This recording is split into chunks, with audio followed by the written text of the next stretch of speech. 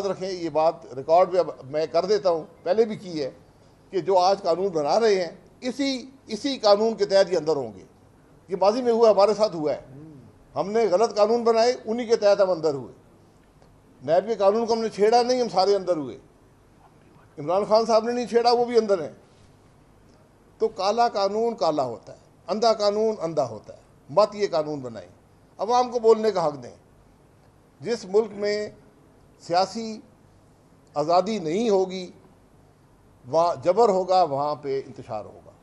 वो मुल्क नहीं चलेगा। ये बुनियादी बात है। पिछले हफ़्ते एक आइनी तरमीम की कोशिश हुई। और वो कोशिश ख़त्म नहीं हुई आइनी तरमीम होगी, आप देख लेना। मैं वो अजमल नजूमी नहीं हूँ, लेकिन मैं कम अज़ कम ये आपको कह सकता हूँ कि ये मामला ख़त्म नहीं हुआ, फिर कोशिश होगी। लेकिन गुजारिश ये है जिसने आइनी तरमीम करनी है।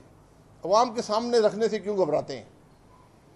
क्या पाकिस्तान के अवाम को यह हक हासिल नहीं है कि वो उस आइनी तरमीम को देख सकें जो इस मुल्क में हो रही है? अगर ये हुकूमत आइनी तरमीम बनाती है, उसमें लिख दें कि इस हुकूमत के जाने पर वो ख़त्म हो जाएगी तो चले मैं कबूल करने को तैयार हूँ। लेकिन आप मुस्तकिल एक आइनी तरमीम कर रहे हैं। जिससे इसको किसी ने देखा नहीं है। मुसवदे में मुसवदा जो है वो मौजूद है सोशल मीडिया में। और जो वहाँ पर बातें लिखी हैं, बजका खेज बातें फंडामेंटल राइट्स को इफ़ेक्ट कर रहे हैं कॉन्स्टिट्यूशनल जुस्डिशन को इफ़ेक्ट कर रहे हैं कि रिट की हैसियत ख़त्म हो जाएगी। आपके राइट्स ख़त्म हो जाएँगे। सिर्फ़ ये बात कर कर ये नेशनल सिक्योरिटी का मसला आपके राइट सारे ख़त्म हो जाएँगे। आप इस मुल्क के शहरी नहीं होंगे, आप एक एनिमी कम्बेटेंट जो है बन जाएँगे। ये ये हम आज कानून पास करने की कोशिश कर रहे हैं।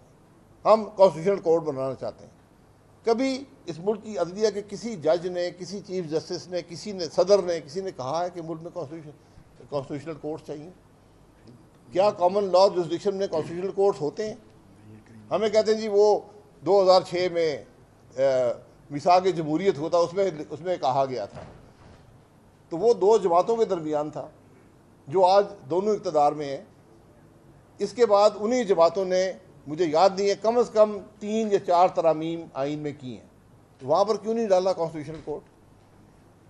कहाँ पे सुप्रीम कोर्ट खत, की जुडिशन ख़त्म होगी कहाँ पे आइनी कोर्ट की शुरू होगी किसी को अंदाज़ा नहीं है। जज आइनी कोर्ट के ये सब जो अखबार में पड़ा है अल्लाह करे ये गलत हो जज हुकूमत लगाएगी। ये वही हुकूमतें हैं जिन्होंने सेनेट में सेनेटर बनाए हैं सत्तर सत्तर करोड़ रुपया लेकर। अब तो खैर बात अरबों में चली गई है। तो कल जज भी मुल्क का सत्तर करोड़ दे के लगेगा। उनमें से जो सबसे कमज़ोर तरीन होगा, वो चीफ जस्टिस बना करेगा। ये हमारे मुल्क का इंसाफ का निज़ाम होगा और वो चीफ जस्टिस पाकिस्तान वो कहलाएगा। तो ये सुप्रीम कोर्ट को आज आप ख़त्म करना चाहते हैं। सिर्फ़ इसलिए कि एक जज जो है चीफ जस्टिस ना बन पाए। यह सोच है मुल्क के अंदर। तो मैं गुजारिश, बड़ी मुदबाना गुजारिश करूँगा आइनी तरमीम आपने करनी है, शौक़ आपको है, बिल्कुल करें। लेकिन सबसे पहले आवाम के सामने रखें। छः महीने उस पर डिबेट हो। छः रासल डिबेट हो। ऑप एड्स लिखें एडिटोरियल्स आएँ, लोग तजिया करें एनालाइज करें, उसके मनफी, मुस्बत पहलू की बात करें। उसके बाद पार्लियामान में लाएँ, फिर पार्लियामेंट्री पार्टीज़ डिबेट करें। दुनिया का मुल्क दिखा दें जिसमें पढ़े बगैर कानून पास होते हैं। हम पढ़े बगैर आइनी तरमीम कर रहे हैं।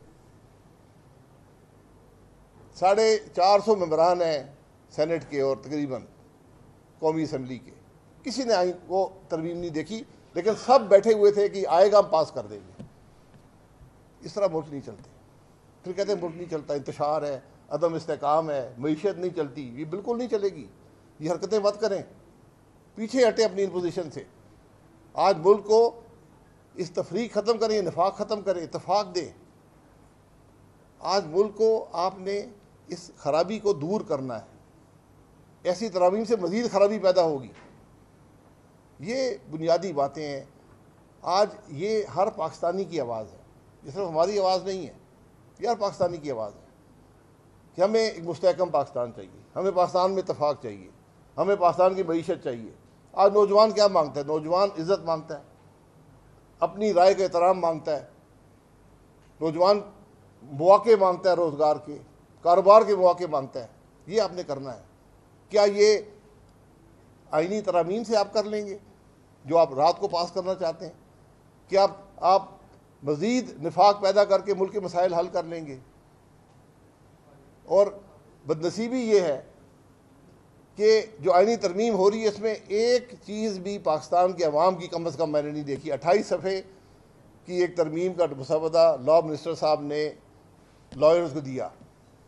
उसमें कोई मसला अवाम का नहीं है कि अवाम की क्या सहूलत मिलेगी, अवाम का, की ज़िंदगी कैसे आसान होगी, मुल्क के हालात कैसे बेहतर होंगे। तमाम तरमीम ये है कि किस तरह हम मज़ीद कब्ज़ा हासिल कर लेंगे। किस तरह मज़ीद कंट्रोल आ जाएगा। किस तरह मज़ीद अवाम की ज़िंदगी को मुश्किल बनाएँगे, किस तरह हम मज़ीद आइन की खिलाफ वर्जी कर सकेंगे। ये मामला कभी मुल्क को के लिए देर पा साबित नहीं होते। ये बात आपके सामने रख दी, शुक्रिया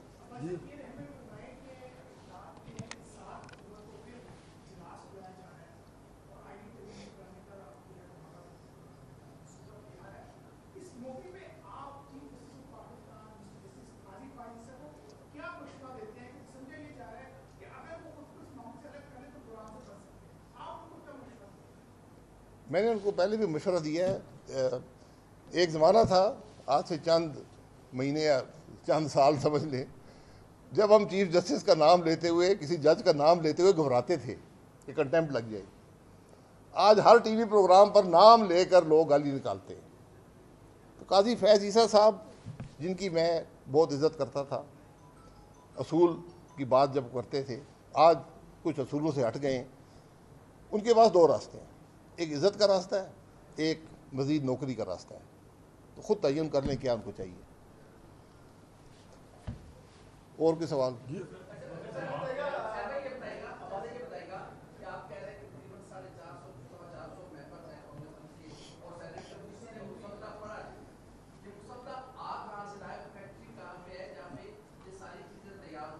ये देखिए फैक्ट्री की मैं उस पर कयास आराई नहीं करना चाहता।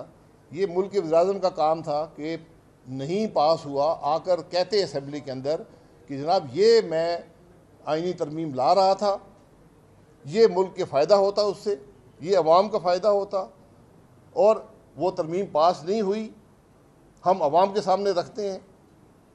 एक लफ्ज़ वज़ी साहब का नहीं आया इसमें।